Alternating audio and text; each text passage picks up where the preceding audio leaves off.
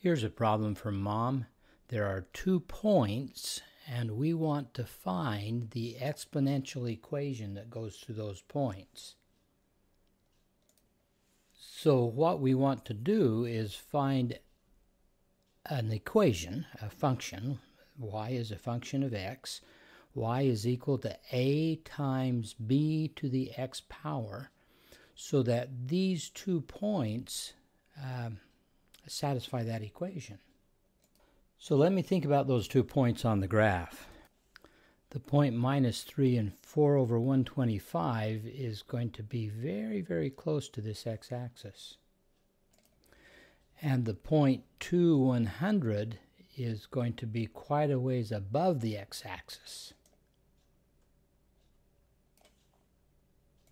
I'm not trying to build a real accurate graph here, but uh, if if this is 100, then 1 is very, very small here.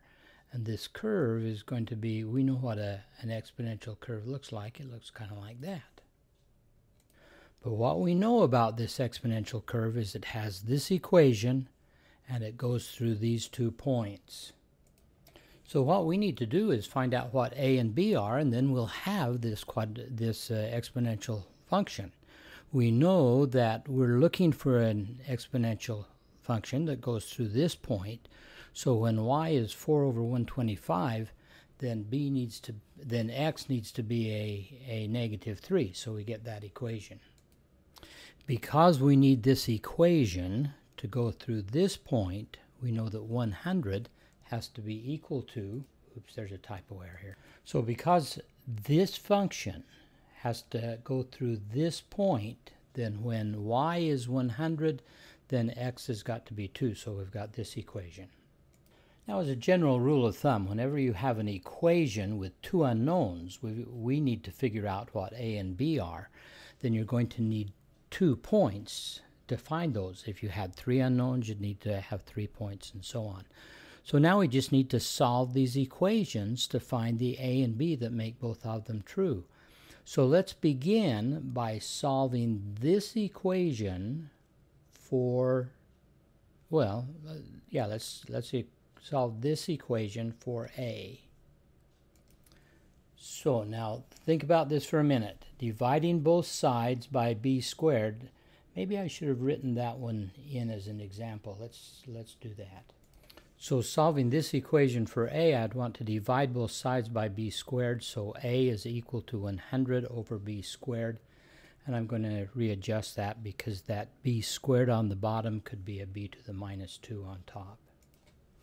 So if this equation goes through this point to 100, then a has to be equal to 100 times b to the negative 2 power. So let's take that value of a that we've found and plug it into this other equation. So what we're doing here is that we know that a is this amount, so in this equation we're going to replace that a with this 100b to the negative 2. So there's a times b to the negative 3. Now all that here are b's and we can use some properties of exponents to begin to solve for the b that makes that true. So what we want to do at this point is find out what b is. This really means 4 125ths is equal to 100 divided by b to the fifth power. So maybe we'll multiply both sides by b to the fifth. I'm running out of room, so I did two steps at once. When I multiplied both sides of this equation by b to the fifth power, so that would make b to the zero power, which is just 1, and that would leave us with 100 here. But I also multiplied both sides of the equation by 125. So I've got 100 times 125 is equal to 4b to the fifth, and therefore b to the fifth is equal to 100 times 125 divided by 4. Now this 4 will go into 100 uh, 25 times. Okay, so b to the fifth is b to the fifth is 25 times 125 And all of these, if we begin to factor them, let's think about that for a minute. 25 is really 5 times 5. And 125 is 5 to the third power, so b to the fifth has got to be 5 to the fifth power. Whoa. Then if I took the fifth root of both sides, then I discover that b has got to be 5. Okay, so I'm halfway to knowing what this equation is. I'm looking for an equation, y is equal to a times b to the fifth power, that goes through these two points. So I looked at the equation of those two, uh, I looked at what would have to happen. 4 over 25 would have to be equal to a times b to the negative 3 power, and 100 would have to be equal to a times b to the second power if, if this equation went through those two points. We solved one of the equations for one of the unknowns, substituted that value into the other equation, and cleaned that up, and we now know what b is, so now we need to find what a is. Go back to these two equations that we've got. Let's choose this one because we know what b is. Now we can find out what a is. So 100 is equal to a times b to the second power. But we know that b is 5, so that's a times 5 to the second power. We can now solve this equation to find out what a is equal to. 100 is equal to 25a, that's what that's saying, so I'll just need to divide both sides by 25. Okay, so b squared is 25. I'm just dividing both sides by 25, and so therefore a has got to be 4. Okay, my workspace is getting kind of messy here, but kind of think about what we did. We looked at these two points that this equation needed to go through.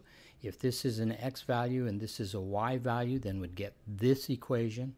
With this x value and this y value, we get this equation. We solved one of those equations for one of the variables plug that value into the other equation for that variable, solve that equation for b. Now we know what b is. We come back to the other equation and uh, worked out to find out what a is. So the exponential equation, the exponential equation that goes through these two points is y is equal to 4 times 5 to the x power. So let's go back to the problem y is equal to 4 times, I'm sorry, times 5 raised to the x power. And notice that it kind of checks the syntax for us. It's saying that, yeah, we've written something that it can understand.